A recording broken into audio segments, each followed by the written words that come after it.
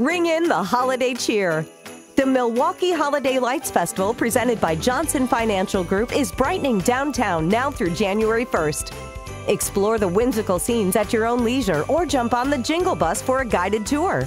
The 40 minute ride bundles downtown's dazzling displays with must see attractions Thursday through Sunday evenings. Book your tour and check out other jolly happenings at MilwaukeeHolidayLights.com.